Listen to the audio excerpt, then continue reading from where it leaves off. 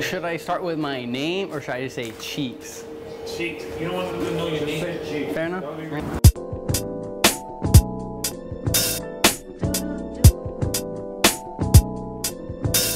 Uh, what's up? I'm Cheeks from Southern Tiger Collective. I do a little bit of 3D modeling, 3D printing, rapid prototyping, and uh, working on like, for example, we have Southern Tiger can caps, Southern Tiger stencil can caps.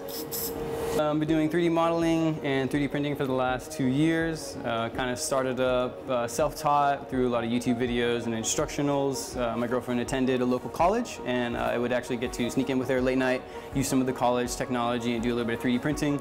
Once I was able to really get my ideas back out of the computer, uh, that really kind of like reconnected my um, infatuation with the 3D modeling and continuing to use it for helpful objects or even uh, toys and other manufactured products and using to help people's translated ideas become reality. Uh, Yeah. Just all through that. All right, and this is the Pride and Joy, uh, where I'll do most of my modeling from, and I can also do a little bit of my fine tuning on some of my prints, so I can get a little bit of a better product and finished results.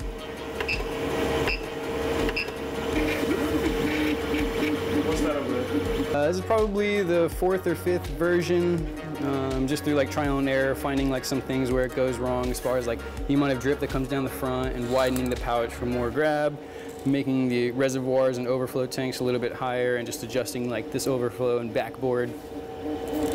Uh, coming along nicely. Uh, yeah, yeah, and as far as having like the flexibility to reduce, you know, like some of like the paint cake and like cracking it off to get back to that original flow is like super helpful. Uh, and then eventually getting to, you know, like silicone non 3D printed with the urethane so the acetones don't eat through the prototypes as fast and so I can get more longevity out of each print and longer lasting life.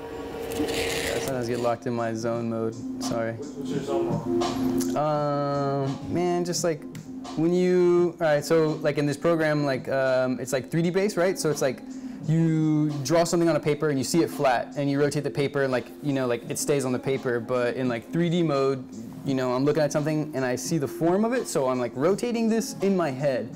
Um, and so like in my head now, I see the little edit that I want to do, and so I have all these faces, and so I'm just going to try and to select those faces to make what I see in my head real in the metaphysical, so I could print it into the reality. Um, like, uh, like know yourself, like love what you do, like actually like it, you know. So uh, cheeks, I like cheeks, so I'll go ahead and like own that, like I'm cheeks, because that's something I like.